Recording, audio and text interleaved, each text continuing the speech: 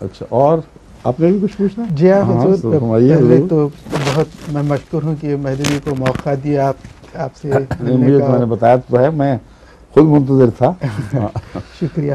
حضور ایک میرا یہ سوال تھا جی۔ کہ مہدویوں کا اعتقاد ہے کہ زندگی میں خدا کی خدا کو دیکھنے کے لیے خواہش کی جائے۔ دیدار خدا کے لیے جی، جو ہے جی۔ مرنے تک جو ہے اس کی خواہش کی جائے اور کوشش کی جائے جو اکثر مسلم اعتقاد کے خلاف ہے۔ آپ کا آپ کیا حیدرآباد دکن کے ہیں؟ جی جی جی۔ ہاں؟ جی ہاں، میں میں جون پوری صاحب کے جی ہاں جی ہاں ہاں ہاں جی ہاں، جی ہاں۔ جتنے مہدی کے دعوے داروں کا میں نے مطالعہ کیا ہے ان میں سب سے زیادہ میں محمد جان پوری صاحب کے کردار سے متاثر ہوا ہوں۔ ان کے جو اصل دعوی ہیں، ان میں کہیں بھی ایک بھی ایسی بات نہیں جس کو انسان غلط قرار دے سکے یا خدا کی طرف غلط بات منسوخ قرار دے سکے۔ انہوں نے نیک کام کیے، بڑے عمدہ، اور ان کو یہ خیال گزرا کہ وہ امام مہدی ہیں۔ لیکن انہوں نے چاند سورج کے نشان کا مثلا کوئی ذکر نہیں کیا، نہ دلیل پیش کی۔ تھے بہت سچے، اس میں کوئی شک ہی نہیں۔ اور ان کے عقائد کو بعض دفعہ بعد میں بگاڑنے کے بعد ان عقائد کا حلیہ بگاڑا گیا ہے جس کی وجہ سے عوام الناس ان سے پرے ہٹ گئے۔ ان کی ایک شاخ ذکریوں کے طور پر بلوچستان میں موجود ہے۔ جی۔ کہ تمام ذکری حضرت امام محمد جون پوری صاحب کے مرید ہیں۔ جی۔ انہوں نے جو ذکر الہی پہ زور دیا اور رویت رویت پر جو آپ بیان کریں اس لیے مضمون کو ملا رہا ہوں۔ جی۔ اس کے نتیجے میں وہاں رسم و رواج پیدا ہو گئیں۔ اور رویت کا مفہوم ہی نہیں صحیح سمجھے حضرت محمد جی۔ جون پوری صاحب نے جس روایت کا ذکر کیا وہ تو قرآن کریم عام طور پر بیان کرتا ہے جی۔ اور اس روایت کے انکار کی سزا جہنم بیان فرمائی ہے چنانچہ سورہ کہف میں اللہ تعالیٰ فرماتا ہے قل انما انا بشر مثلکم یوحا الیہ انما الہکم الہ واحد. فمن کان یرجو لقاہ لقاء ربہ. لقاء اور رویت یہ چیز ہے. فمن کان یرجو لقاء ربہ فلیعمل عملا صالحا ولا یشرک بے بعبادت ربہ احدا.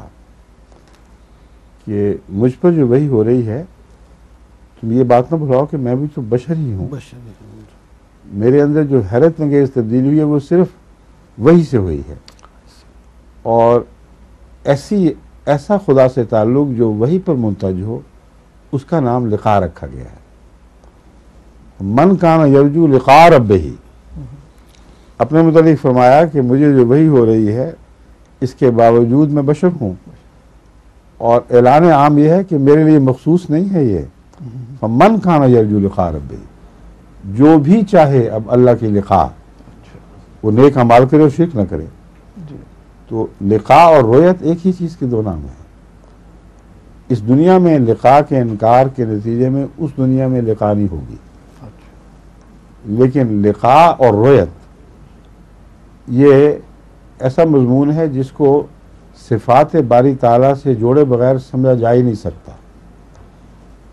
ایک انسان دوسرے انسان کو دیکھتا ہے تو یا کسی چیز کو بھی دیکھتا ہے جب تک اس کی صفات کا علم نہ ہو اس کی رویت نہیں ہوتی۔ ایک انسان جس کے سر پہ صدمہ پہنچا ہے اس کی آنکھ کام کر رہی ہے وہ تصویریں دیکھ رہا ہے لیکن یہ نہیں پتا کہ یہ کون ہے اور وہ کون ہے۔ اور اس سے میرا یہ تعلق تھا یا وہ تعلق تھا۔ ان صفات کا علم نہیں ہے جو لوگ رکھتے ہیں۔ جی۔ اس کو رویت نہیں کہہ سکتے۔ وہ تو ویجیٹیبل کی رویت ہے۔ لیکن اللہ کی رویت میں اصل مضمون یہ ہے کہ خدا چونکہ سب چیزوں سے لطیف ہے، وہ ظاہری آنکھ سے دکھائی دے سکتا ہی نہیں۔ کیونکہ جہاں ظاہری آنکھ سے دکھائی دیا، وہاں خدائی ختم ہو گئی۔ دکھائی دینے کا مطلب ہے کوئی چیز روشنی سے کثیف تر ہو، اس کے بغیر دکھائی نہیں دے سکتی۔ روشنی کسی چیز سے ٹکرائے اور واپس آئے جی۔ یہ ظاہری روایت ہے۔ اور قرآن کریم فرماتا ہے، ما کذب الفواد و مارا۔ محمد رسول اللہ علیہ وسلم کے دل نے جھوٹ نہیں بولا جو آپ نے دیکھ، اس نے دیکھا۔ تو دل کی روایت اور چیز ہے اور ظاہری آنکھ کی روایت اور چیز ہے۔ تو حضرت امام محمد جون پوری صاحب، مجھے اس میں ذرا بھی شک نہیں، جس روایت کی بات کرتے تھے وہ یہ روایت تھی جو قرآن حدیث سے ثابت اور عقل ایک منطقی نتیجے کے طور پر یہ کہہ سکتی ہے۔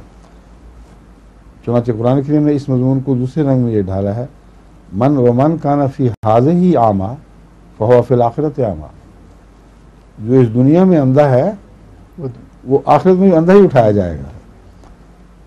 تو اس لیے وہ ان کا یہ زور روایت والا بالکل درست ہے، مگر روایت، وہ فرضی روایت نہیں کہ انسان تصور باندھ کے کسی شیخ کو دیکھ لے یا خدا کو دیکھ لے یہ بالکل غلط بات ہے۔ صفات باری تعالیٰ کا جتنا علم بڑھے گا اتنا ہی روایت ہوتی چلی جائے گی۔ اسی کا دوسرا نام لکھا ہے۔ شکریہ۔ جی ہاں۔